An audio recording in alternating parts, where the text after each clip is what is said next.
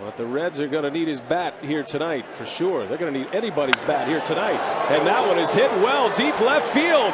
And there she goes. Brandon Phillips with a bang puts Cincinnati on the board here tonight.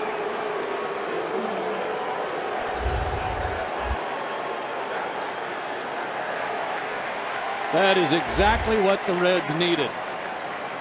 On the board early and with a long one at that to fire up that dugout.